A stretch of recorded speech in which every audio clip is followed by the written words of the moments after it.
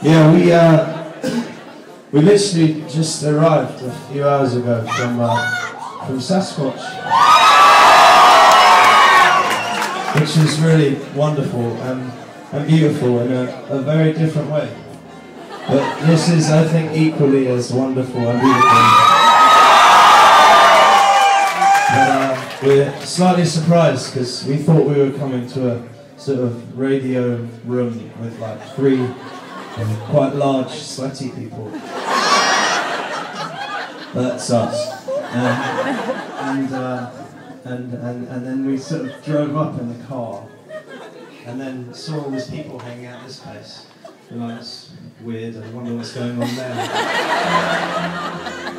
and so we kind of yeah, and our friends who are travelling with us, Chris, who's doing the sound, and Adam, who's our tech. And,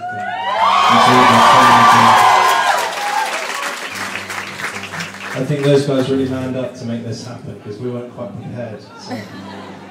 We, uh, we've, we've been to a lot of places in the past three weeks and we're going to a lot more in the next three weeks, but I think Vancouver is one we're going to remember.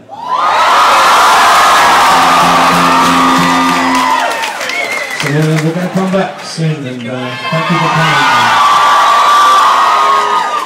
Is our last song, thanks.